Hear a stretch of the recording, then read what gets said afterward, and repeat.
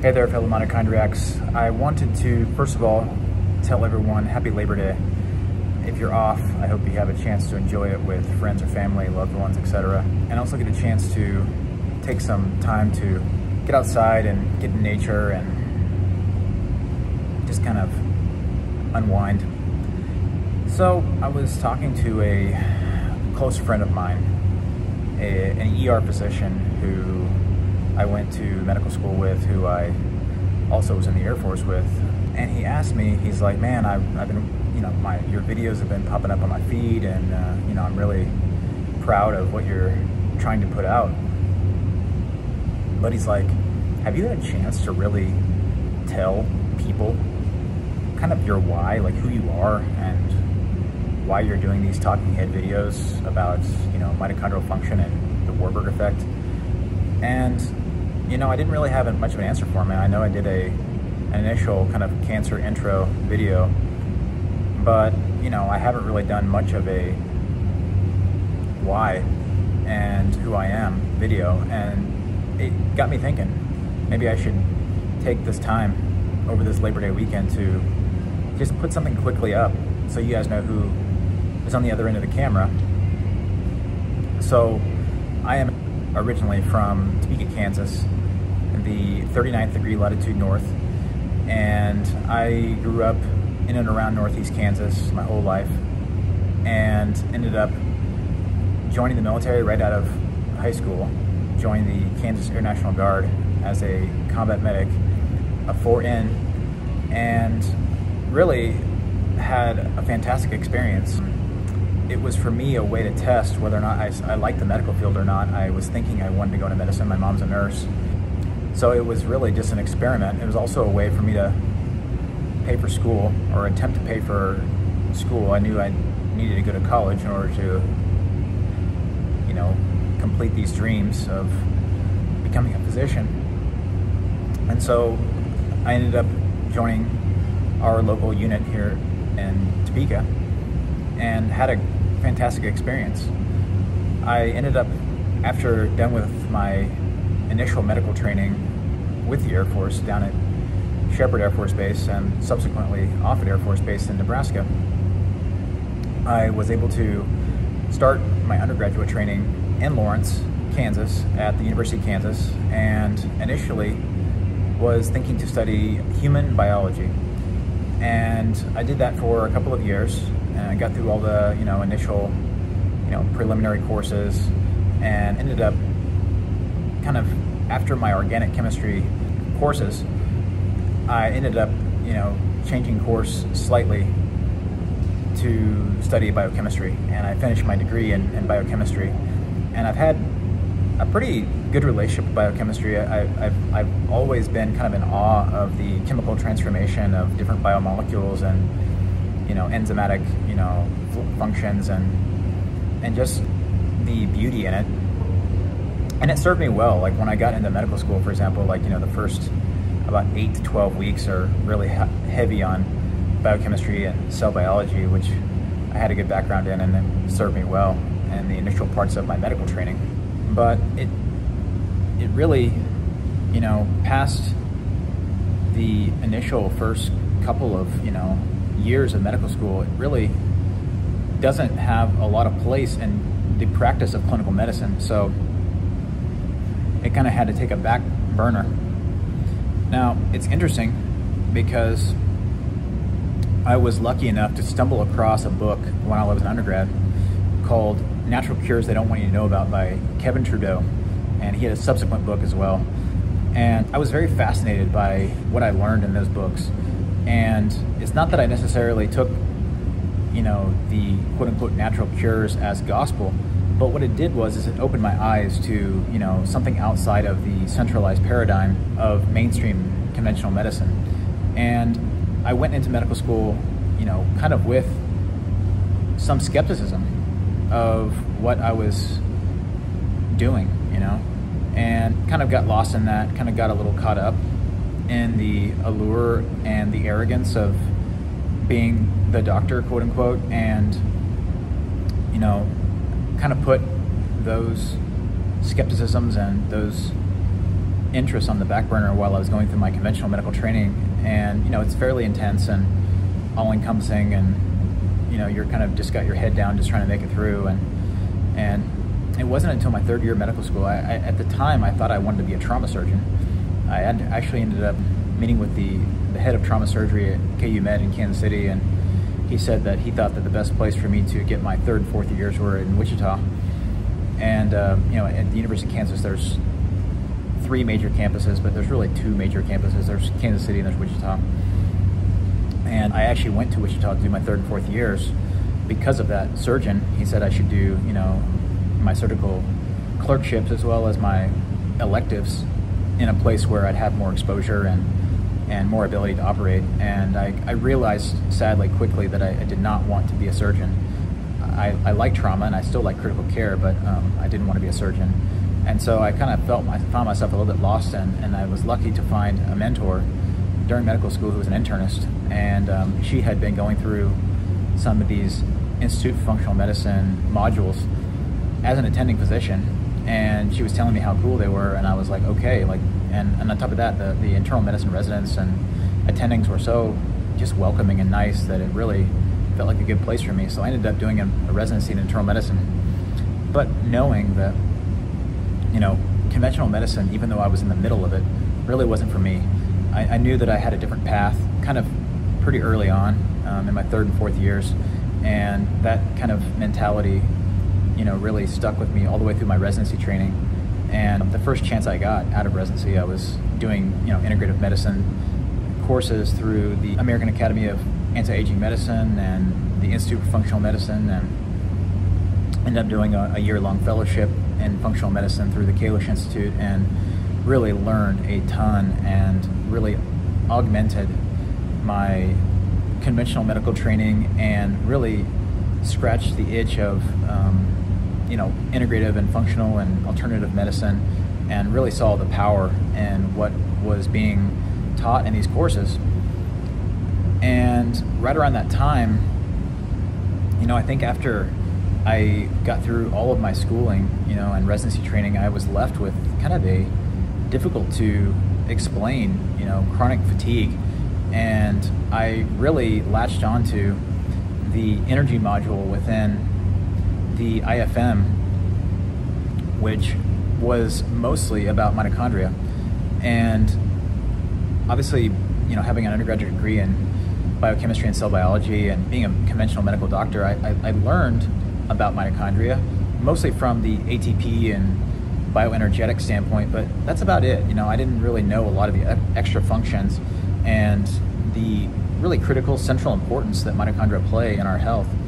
You know, it wasn't until about 2017, 2018 when I stumbled upon a, a brilliant physician, neurosurgeon named Dr. Jack Kruse. And if anybody is aware of him, that he they know that he is passionate, he's brilliant, he's very blunt, and he is just kind of like on another level. You know, he's times 10 uh, most people. Um, his understanding of, you know, not only the biochemistry and, and clinical medicine aspect of it, but how he integrates in, you know, quantum mechanics and physics and different areas of science to an expertise that he's able to, you know, tie in dots. And so I started following a lot of his podcasts that he would, you know, be on at the time, you know, 2018, 2019, and ended up becoming a member of his site jackkruse.com, and, and, and if anybody else is a member of his, his site, you know, you have access to like all of his webinars that he was doing from like 2012, 2013, all the way every month. You know, these are like two, three hour webinars with, with like two or three hour question and answers with his members. And he did that through about 2018, 2019, and you know, I was able to get through all of those, you know, many, many hours of having Dr. Kruse, you know, lecture lecture to me essentially, not me personally, but you know, to us as a whole, as a group. And that raised a lot more questions. You know, I started to see what I was learning in the IFM or the Institute for Functional Medicine, you know, when it comes to mitochondrial function as being pretty like elementary, pretty like very basic and in a lot of ways with a lot of blind spots. And so I started to like with the help and, and kind of newfound curiosity interest kind of ignited by Dr. Kruse, with you know a background of my own passion and interest in healing and, and health and integrative health and medicine I was able to, you know, really start to just get into the literature, and I wanted to.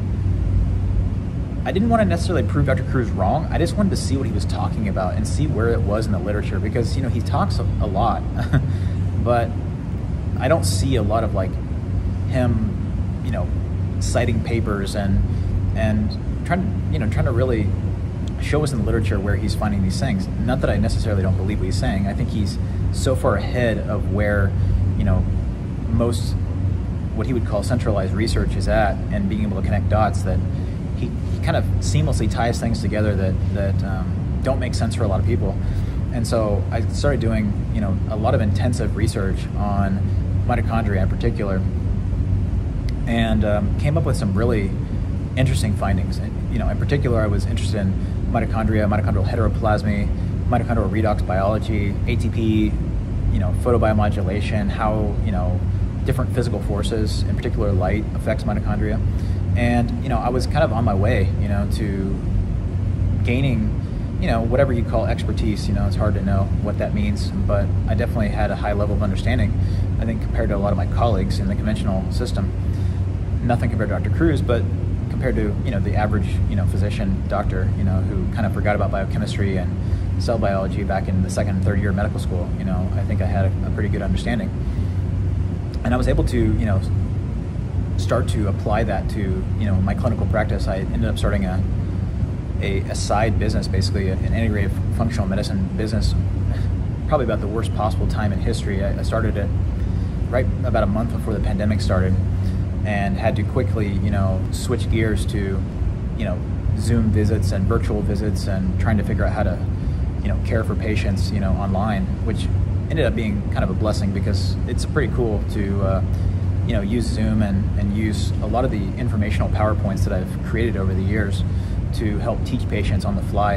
But anyway, my point is, is that, you know, I was dabbling in this and I, I, I was mostly interested in you know things that mainstream medicine has kind of demonized and you know placed in uh, you know in a wastebasket, like things like chronic fatigue, things like fibromyalgia, things like IBS, IBD, etc. You know where where people don't get a lot of help from the centralized paradigm. They kind of get marginalized, and I kind of was focusing on on that. And um, you know I've now been a hospitalist for going on eight years as an attending physician, and I you know, my, my grandfather, paternal grandfather, was diagnosed a year ago.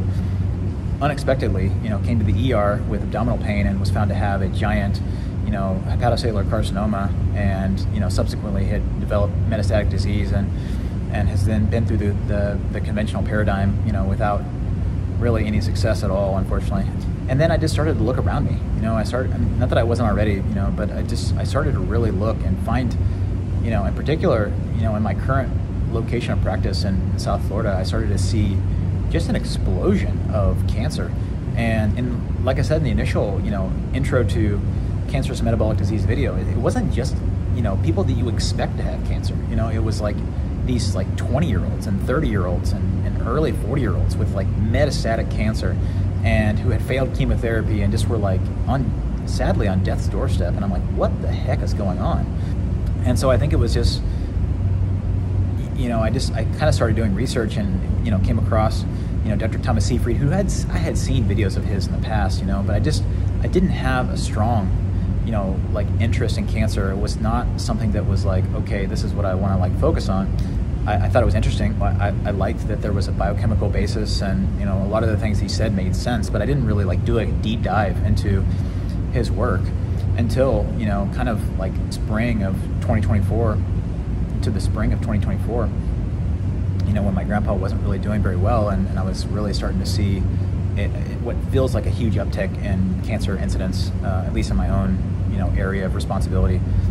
And so that's kind of the journey, you know, how I ended up where I was, where I'm at right now, you know, and I just started connecting a lot of dots, you know, I, and I think, unfortunately, like a lot of dots that aren't connected by a lot of different practitioners, and it definitely like there was direct relationship between my study of mitochondria and mitochondrial heteroplasmy, and you know, I, have already done the video about it. You know, but how mitochondrial heteroplasmy connects to cancer, and how like these mutant mitochondria were utilizing Warburg metabolism, and I was like, oh my gosh, like there is something really here.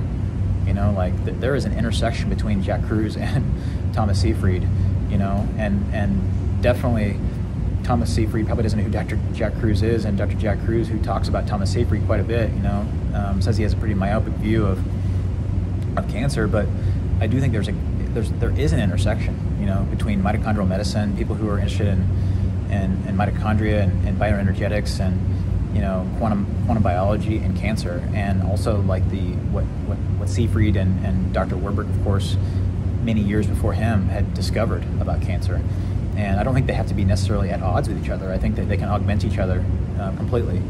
And so, you know, I started my, my channel up again, you know, um, after a long winter of getting beat up as a hospitalist. And, you know, I'm so glad that I did because, it, you know, it, it has really, I really think that it's cathartic for me to get this information out um, just for my own personal self. But, you know, I, when I read the comments of people, you know, who have these amazing high level questions, or they share their story of having, you know, a, a, GBM or, you know, cancer of all, all types, or, you know, or they, people reach out to me via email and, you know, they, they, they give me their stories about how no one, you know, for the most part can help them with this. You know, they, I had a, a person who contacted me and they said that they had some specialized, you know, oncologist at Duke University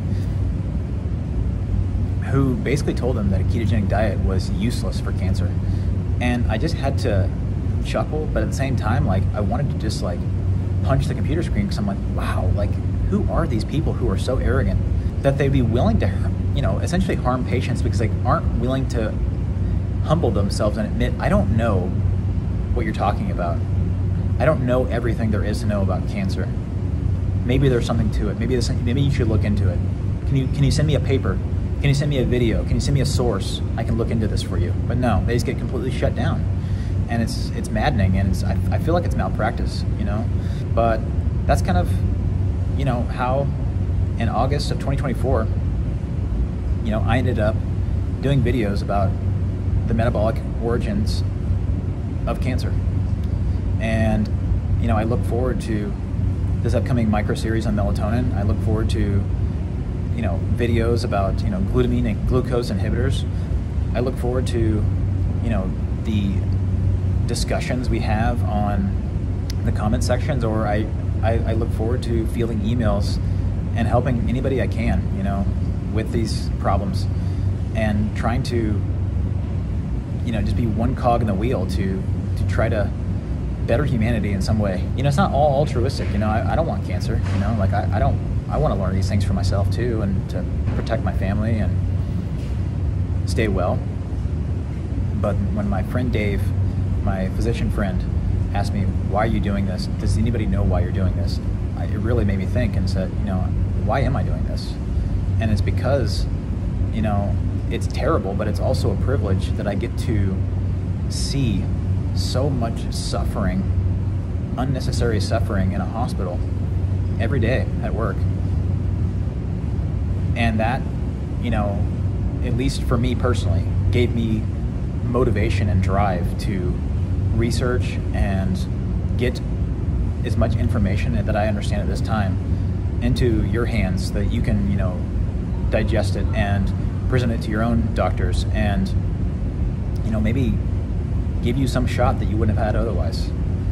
So that is my why. Until next time